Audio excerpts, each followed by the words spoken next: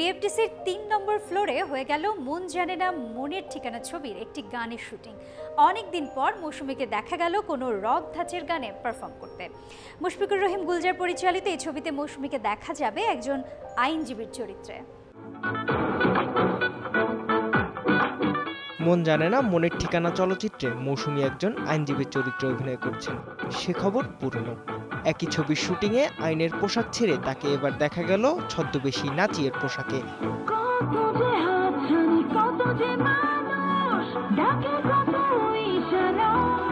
ছবিতে শফিক তুহিনের সুর ও সঙ্গীতে পাপ্পির গাওয়া এই গানেই নেচেছেন মৌসুমী।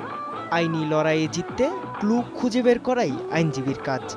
আর এ কারণেই সতর্ক দৃষ্টি নিয়ে তার এই বেশবদল। যখন প্রথমে কেসটা হেরে যায় তখন ও বুঝতে পারেনি যে এটা আসলে একটা এর ভেতর অন্য কিছু থাকতে পারে।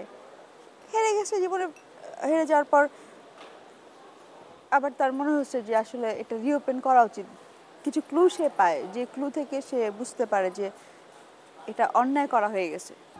পরিচালক মুশফিকুর রহমান গুলজার পরিচালিত ছবিতে অভিনয় করেছেন নায়করাজ রাজ্জাক, মৌসুমী, ফেরদৌস, আফজাল শরীফ, শহীদুল আলম সাচ্চু শামস সুমন, শিরিন শিলা, পরিমণি, সাজ্জাদ ও তানভীর সহ আরও অনেকে।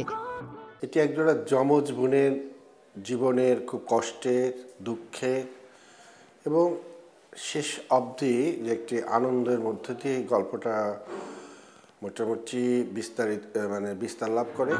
ইমপ্রেস টেল ফিল্মের পরিবেশনায় প্রিয়জন কথাচিত্র প্রযোজিত ছবিটির দৃশ্যায়নের কাজ প্রায় শেষ। বাকি আছে কয়েকটি গানের শুটিং। সব ঠিক থাকলে আসছে ঈদেই মুক্তি পাবে ছবিটি।